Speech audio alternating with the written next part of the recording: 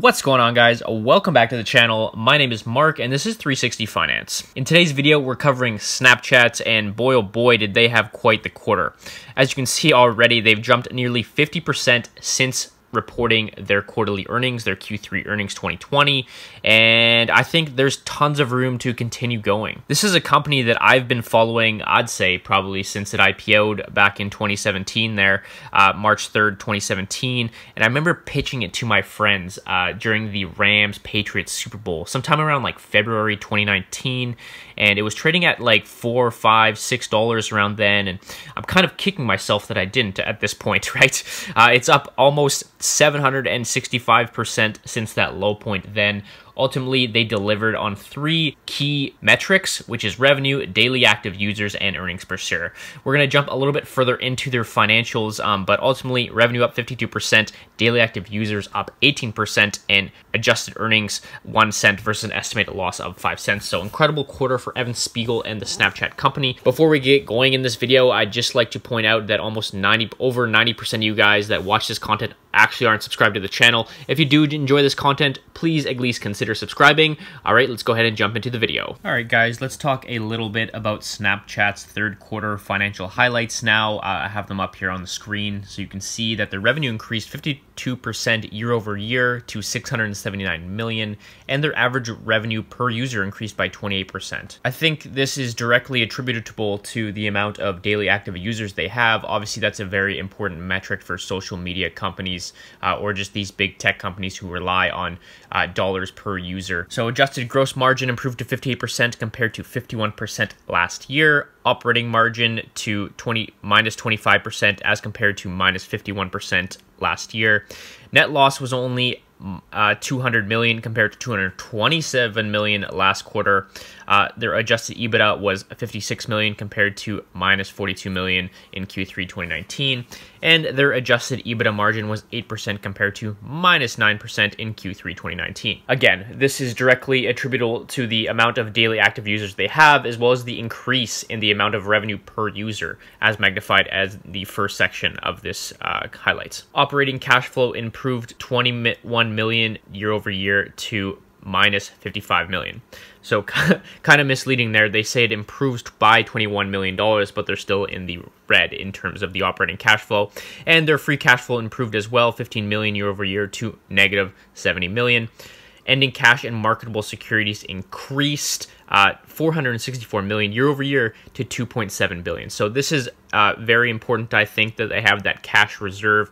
We'll take a look at their current ratio in a second here, but just the fact that they have um, a substantial amount of cash on hand just in case of a downturn is a good sign, you know. And this social media company obviously didn't experience a significant downturn when the pandemic happened because it is a virtual business. I know that's very obvious, but it just something to highlight if you're thinking about investing in this company. Okay, some of the business highlights now daily active users grew by 18% year over year, and we saw increased engagement across across key metrics. So daily active users, 249 million in Q3 this year, an increase of 39 million, or that 18% as we just talked about. Daily active users increased sequentially and year over year on each of the iOS and the Android platforms. So good to see that they're not just popular on one platform, but on both. And also, the average number of snaps created every day grew by 25% year over year. I think that's really important just to, to show that these aren't just people that are coming on to Snapchat and reading news or uh, reading messages, they're actually creating snaps uh, and using the platform more. And 25% year over year increase is pretty substantial in my opinion. And they continue to invest in their Discover platform, and this is something that's very similar on Instagram as well. If you are on Instagram, you'll know that they recently changed the UI and moved uh, almost kind of like a shop down on the bottom navigation bar. Uh, this is definitely a page which I think is important for keeping people active and finding new accounts to follow. Investing in a Discover platform, I think, is essential. So let's just read some of these statistics from it now. Total daily time spent by Snapchatters watching shows increased by 50% over 50% year over year in Q3 2020. The daily average number of Snapchatters in India watching Discover content increased by nearly 50% sequentially. More than 40% of the US Gen Z population watched Sports Discover content on Snapchat last month. Obviously, with these social media platforms, um, I think the, the most important audience to capture is the youngest uh, generation. So the fact that Gen Z uh, or 40% of Gen Z population watched the Sports Discover content on Snapchat last month. That's a pretty important metric, but it's only been for one month, so just keep that in mind. Sports Center viewership in general on Snapchat increased by 80% from July to September. So a few other points at the bottom there, you can see they mentioned mentioned Conor McGregor, Kevin Hart, and uh, I think the more celebrities that they get on this platform, the better. All right, so I'm just gonna uh, briefly put up uh, slide five and slide six on this video just so you guys can read through some more of their business highlights. I don't think they're overly important. Obviously, it's some uh, you know key highlights for the company themselves, but I don't think there's too much that I really need to gloss over here as an investor. I'm just going to be putting them up on the screen so you guys can see them and ultimately read them yourselves. All right, right back to the numbers, okay? So revenue by geography, uh, we're looking at there are four different segments here. So global obviously being the sum of all three, and then you have North America, Europe, as and then the rest of the world. Uh, so no doubt North America is has been their most popular segment. They are an American company. I think you would expect that. Uh, couple things to highlight. Year over year, every single segment saw a massive increase in revenue. Okay, so 52% uh, as a company and 56% in North America, 49% in Europe, only 35% in the rest of the world. Um, maybe that'll change as Snapchat maybe becomes more popular across the globe. But uh, just important to highlight that this has been the most revenue the company has received in the last year, eclipsing Q4, which was the most profitable in all their segments last year. Average daily active users. So what we're looking for here is what what is the trend? Are they losing uh, users? Are they gaining users? What has been the growth rate in their daily active users? Obviously, this is a very important metric for social media platforms, and I'm pleased to say that uh, year over year they grew about 18%. And you can see they've consistently grown every quarter since uh, Q2 2019, which to me kind of indicates that this company is certainly still in the growth phase of their business cycle. Probably the second most important metric when looking at these social media companies is the average revenue per user. And again, this has a very similar trend to what we saw just in total revenue. And it's important to note, again, except for the rest of the world segments, uh, year over year, there has been massive increases in the amount of revenue generated for Q3. 28% as a company, but that's kind of misleading as you see a nearly a 50% growth rate in North America and only 36% in Europe. But again, uh, the two most profitable quarters uh, for those segments and eclipsing Q4 2019. Okay, uh, a couple more graphics for you guys to look at here. The adjusted cost of revenue as a percentage of revenue, as well as the cost of revenue composition. It's good to see that uh, they've decreased their adjusted cost of revenue as a percentage of revenue 7% year over year. Uh, as you would expect, infrastructure costs to increase with the amount of daily active users increasing, and we are kind of seeing that when you look at the cost of revenue composition. One of the main areas of the cost of revenue that grew actually was the revenue share cost. This doesn't in include stock based compensation expense and a related payroll tax expense. I mean, I think this is ultimately a positive outcome for the company. Slightly increase infrastructure costs but ultimately, as a percentage of revenue, your adjusted cost of revenue is lower year over year, and it's lower than it's been in the last five quarters. Okay, adjusted operating expenses as a percentage of revenue, again, that has decreased 11%. So it's good news that this company is growing, and as they're growing, they're showing the ability to scale and actually not grow their costs too much.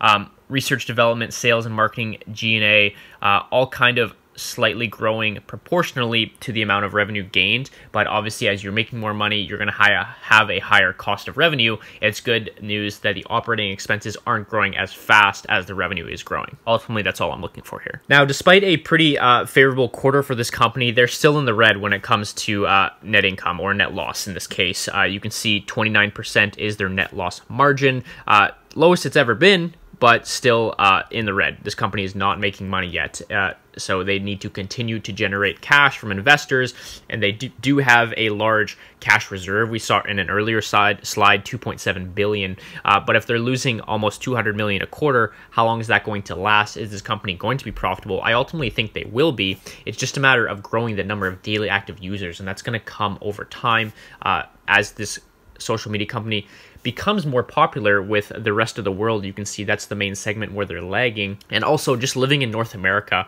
uh, I live closer, like on the east coast of North of North America. Uh, this is a company that's a lot more popular on the West Coast. I think if they can capture, you know, the other side of the North American countries uh, and grow in popularity there, we should also see their North American segment surge as well. Okay, so their adjusted EBITDA margin in the positive for the first time since Q4 2019, and as we know, looking at some of the earlier slides, Q4 2019 was their best quarter to date since inception. So, again, this uh, quarter has ultimately beaten their best quarter since inception and is now their best quarter since inception, uh, having an adjusted EBITDA margin of 8% or $56 million. Okay, a couple more graphs for you guys. Diluted net loss per share, again, best quarter they've ever had, minus 14 cents.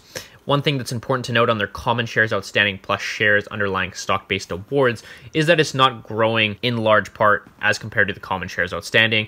These are shares uh, that are given basically to you know executives or employees uh, that work for the company, and it's good to see that it's actually it looks like it's almost shrinking, or it has been for at least a year or the last five quarters. That's ultimately all, all I'm really looking for on that graph. All right, so just concluding on Snapchat now. Um, so obviously, as I already said, this video is being recorded on a Saturday and probably releasing on a Sunday. Uh, Snapchat reported their quarterly earnings on a Tuesday and has already jumped 52%. Uh, this is a company that I believe still has room to grow and capture tons and tons of market share. It's ultimately going to be up to to Evan Spiegel and what he decides for the company on how to continue growth.